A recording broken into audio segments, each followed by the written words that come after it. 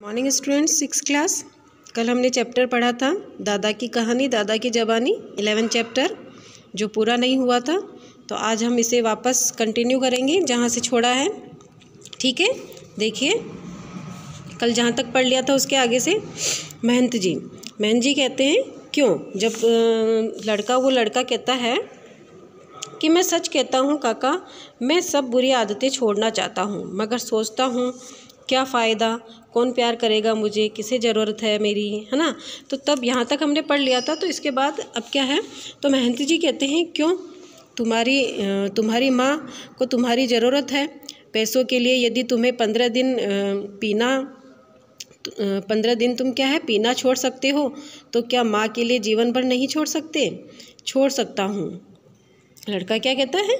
छोड़ सकता हूँ। तो महंत जी कहते हैं तो जाओ, जाकर माँ से क्षमा मांगो और नया जीवन शुरू करो। तो जाने का स्वर आता है मतलब वो निकल जाता है वहाँ से। फिर स्त्री, हाय राम, मार डाला।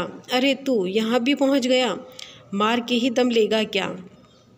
तो महंत जी, कौन है? अरे दीदी, है क्या? आइए आइए। फिर कुर्सी खिसका कर उन्हें बैठने के लिए कहते हैं। आगे देखिए। स्त्री स्त्री कौन है वो? उसकी माँ, उस लड़के की माँ। कौन लड़का? रामू, ठीक है? तो वो स्त्री, बैठने की फुर्सत नहीं है भैया। सुना है, आज आप जा रहे हैं। यदि आप तो महंत जी बोलिए, दीदी, क्या बात है? तो स्त्री कहती है, बहू बीमार है, उसे बड़े अस्पताल दिखाना है। लड़के को खेती किसानी से फुर्सत ही नहीं मिलती। आप तो शहर ही होकर जाएँगे, हमें अस्पताल के सामने उतार देना।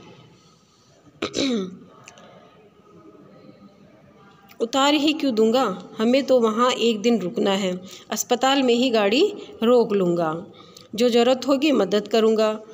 यह आपका रामू भी साथ रहेगा।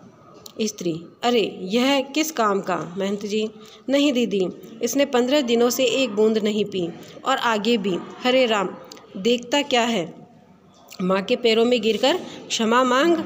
माँ, बेटे के रोने का स्वर। माँ माँ, मैं बहुत, मेरा बेटा राजा, मेरा राम राम राम, बेटा। वो स्त्री इस तरीके से कहती है। फिर महंती जी कहते हैं, जाओ दीदी, चलने की तैयारी करो। धूप चढ़ने से पहले ही निकल चलें। लड़का, काका, शहर में मैं आपके साथ ही रहूँगा। महंत जी, अरे, नहीं रे, मैं तो रमता जोगी हूँ। तेरी ज़रूरत तो तेरे परिवार को है। इस सुंदर सबल शरीर को मेहनत में लगा, अपनी बंजर पड़ी ज़मीनों को संभाल। किसान तो दूसरा ब्रह्मा है, अपनी माँ और धरती दोनों का लाडला बन। तो लड़का कहता है, काका, महंत जी कहते हैं, देख, मैं एक वादा करता हूँ, यदि इधर फिर फेरा लगा सका मतलब इधर वापस आया तो मुझे मुनि वशिष्ठ तो मुझे मुनि वशिष्ठ का पाठ दूँगा। तू अपने को इस लायक बना लो, बना तो। तो रमेश और रीमा फिर कहते हैं, नाटक खत्म हो जाता है, थोड़ी देर तक चुप, चुप्पी छाई भी रहती है। फिर रमेश और रीमा बोलते हैं, और फिर क्या हुआ दादाजी? तो दादाजी कहते हैं, लड़के ने मेहनत की बात गांठ बाँध ली।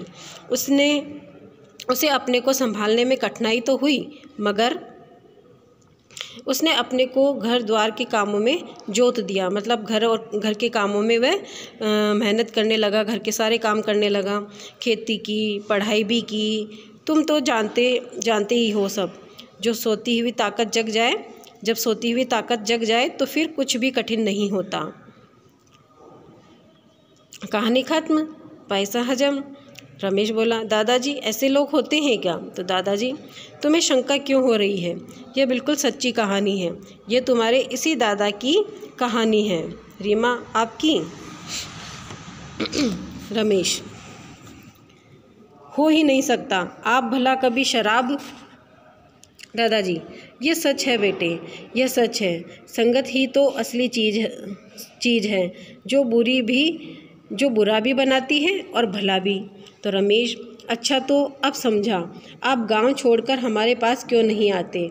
आप महंत काका के इंतज़ार में हैं। आपको मुनि वशिष्ठ का पाठ करना है। तो दोनों हँसते हैं। फिर स्त्री स्वर में, बच्चों की अच्छी बातें सिखाने वाले तुम्हारे दादाजी तो साक्षात वशिष्ठ ही हैं। फिर रमेश कहता है, अरे माँ, तुम तो आज से हम दादाजी को वशिष्ठ जी ही कहेंगे। तो सारे सब समवेत हँसी मतलब सारे जने हँसते हैं सब एक साथ। ठीक है। चलिए, ये चैप्टर आपका कंप्लीट हो गया, कहानी समझ में आई सबको।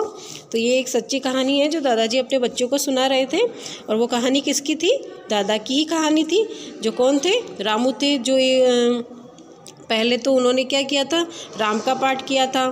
फिर वो उनकी परिवार की स्थिति जब बिगड़ती सी गई, उनके परिवार का सदस्य जब मर गया तो उनके परिवार की स्थिति बिगड़ गई। तो वो भी क्या है? गलत संगत में चला गया। तो गलत संगत में जाने की वजह से वो कोई काम नहीं करता था। लेकिन जब महंत जी ने उन्हें समझाया और रावण का पाठ करने के लिए कहा और तब उन्हें वो जो आदत उनकी जो लगी हुई थी शराब की, वो आदत छुड़वा दी, तब जाके उन्हें एहसास हुआ कि उन्हें क्या करना है। तब वो फिर उसके बाद से ही वो क्या है? मेहनत करने लगे और अपने परिवार को संभालने लगे, अपने परिवार के सारे काम काज करने लगे। समझ में आ गया? तो इसी तरह से उन्होंने क्या समझाया है कि संगति अस, आ, आ, असली चीज़ है। संगत का मतलब क्या होता है? कि तुम्हारे साथ के जो साथी लोग हैं वो कैसे हैं? अच्छे हैं बुरे हैं अच्छे हैं तो आप अच्छे गुण सीखोगे उनसे। और बुरे हैं तो आप में बुरे गुण आएँगे। आप उनसे क्या सीखोगे? बुरे गुण ही सीखोगे ना?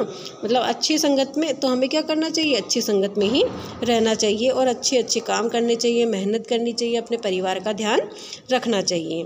ठीक है? ये चैप्टर कंप्लीट ये इस चैप्टर के वर्ड मीनिंग है, शब्दार्थ है, जो आपको अपनी नोटबुक में करने हैं. ठीक है?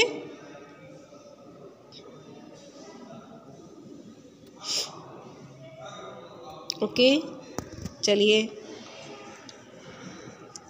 अब इसके बाद मैं आपको आपके क्वेश्चन आंसर की की भी बता रही हूँ, की सेंड कर रही हूँ. वो भी आप, इनके प्रश्न उत्तर वगैरह कर लेना। ये एक्टिविटीज़ के हैं क्वेश्चन आंसर ध्यान से देखना, ठीक है?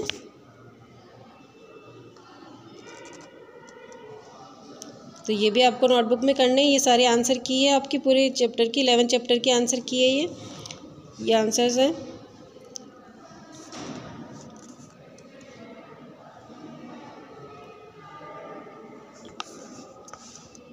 ये व्याकरण बोध के क्वेश्चन के आंसर है। ठीक है? ये सब आपको अपनी बुक में फिल भी करना है और नोटबुक में भी करना है।